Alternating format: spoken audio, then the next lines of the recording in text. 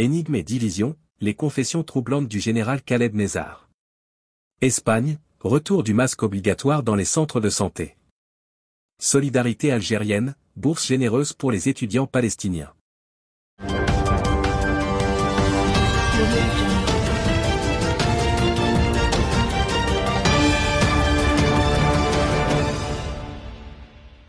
Énigme et division, les confessions troublantes de Nézar sur l'assassinat de Boudiaf. Les récentes confidences posthumes du défunt général Khaled Nézar, ancien ministre de la Défense, font ressurgir de lourds soupçons sur son implication présumée dans deux assassinats, celui du président Mohamed Boudiaf en 1992 et celui de son épouse quelques années plus tôt.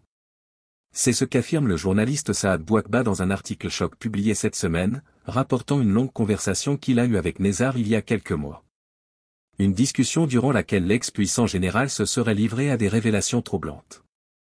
Concernant l'assassinat de Boudiaf, abattu par un de ses gardes du corps lors d'un rassemblement public le 29 juin 1992, le général Nézar aurait catégoriquement nié en être le commanditaire. Rien ne pouvait se produire sans ma connaissance préalable en tant que ministre de la Défense à l'époque, aurait-il déclaré. Pourtant, nombreux sont ceux qui le soupçonnent d'avoir ourdi le coup fatal contre Boudiaf, qui critiquait ouvertement l'armée et ses généraux féodaux. La famille du défunt président a d'ailleurs porté plainte en France contre Nézar pour son implication présumée. Autre assassinat troublant évoqué, celui de la propre femme de Nézar, tuée dans des circonstances mystérieuses par balle à leur domicile. Bien que le général ait démenti avec véhémence en être l'auteur, affirmant que Bouakba se trouvait dans son bureau au moment des faits, les langues ne cessèrent de charrier à son sujet. Outre ces assassinats troublants, le général Nézar se serait également livré à d'autres confidences étonnantes lors de ses échanges avec le journaliste Bouakba. Il aurait notamment nié avoir été un officier de l'armée française avant de rejoindre le camp algérien, comme certains le prétendent, j'ai formé des combattants algériens dans la région de CAF. Les rumeurs comme quoi j'aurais été un agent français sont absurdes et infondées, se serait-il défendu. L'ex-ministre de la Défense se serait par ailleurs présenté comme une victime des luttes de pouvoir sous Bouteflika, dénonçant un acharnement contre ses fils et des tentatives de représailles pour ses positions politiques jugées gênantes par le clan présidentiel. Bien que spectaculaires, ces révélations posthumes appellent à la plus grande prudence. Elles émanent d'un général aigri par sa mise à l'écart sous Bouteflika et aucune preuve tangible n'est avancée pour les corroborer. Elles mettent néanmoins en lumière les fractures du sérail algérien et les règlements de compte qui continuent de hanter la scène politique, plus de 30 ans après la mort de Boudiaf. Au-delà des accusations troubles formulées par Nézar, c'est toute une facette obscure du pouvoir algérien qui ressurgit.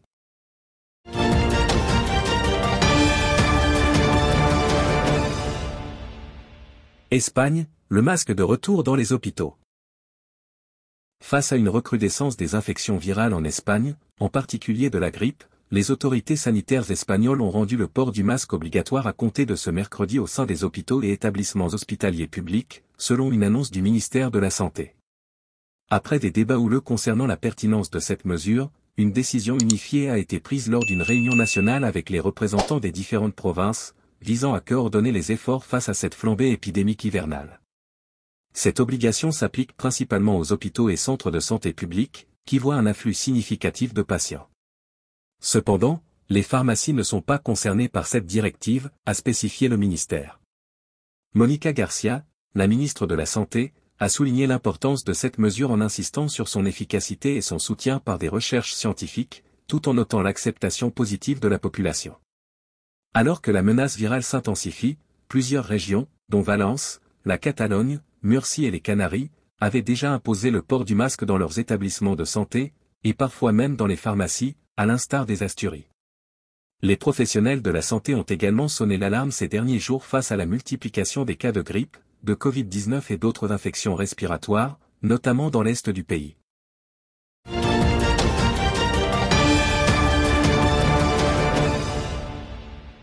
Bourse significative pour les étudiants palestiniens en Algérie le ministre de l'Enseignement supérieur et de la Recherche scientifique, Kamel Badari, a fait une annonce marquante ce lundi en Algérie.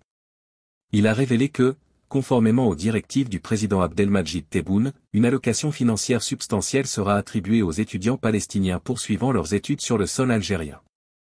Cette décision intervient après une réunion du Conseil des ministres tenue dimanche, au cours de laquelle le président Tebboune a expressément demandé au ministre Badari d'évaluer et de soutenir la situation précaire des étudiants palestiniens en Algérie. Il s'agit d'une réponse directe à la situation difficile que ces étudiants vivent, notamment à cause de l'interruption de leur communication avec leurs familles dans les territoires palestiniens. Cette initiative vise à assurer leur bien-être et leur stabilité financière pendant leurs études en Algérie. Abonnez-vous à notre chaîne. Cliquez sur la cloche pour rester au courant de l'actualité algérienne.